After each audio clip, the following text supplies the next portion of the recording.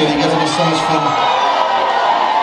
We have one more song for you, and then we gotta go. We gotta go to other places, I guess. But, um, We have to be in Denver tomorrow. yeah, we gotta be in Denver tomorrow. It's is like maybe far, I don't know. I've never seen a globe, so I don't know how far Denver is, but I think it's close. I don't know. that's it. So, this is the last song we're gonna play, so I think since that's the case, we should all go fucking insane. Are you guys down for that?